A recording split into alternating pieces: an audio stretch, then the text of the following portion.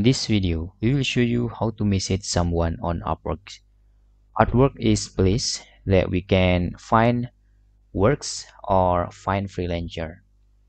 In here, to message someone, first, for example, in here, without login, actually, you can find the talent or freelancer. For example, I want to find with the name Adam, and you can see there, there is many Adam in here, and if you want to message them you need to sign up into your Upwork.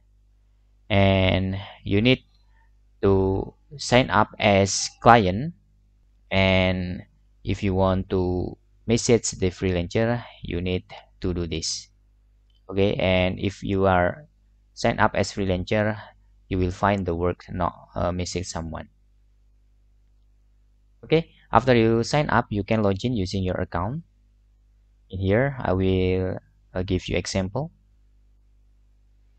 After you are logged in as client you can uh, do with finding someone for example freelancer okay?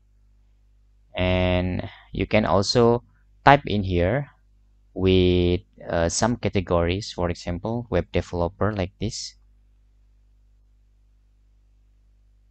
and you will find the person uh, maybe after you find the sweet person you can directly uh, click message here.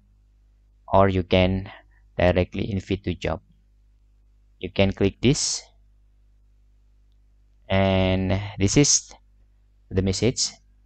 Hey take a look this job. Are you interested? For example look like this and after that uh, you can find the message by clicking the send button. And that's all.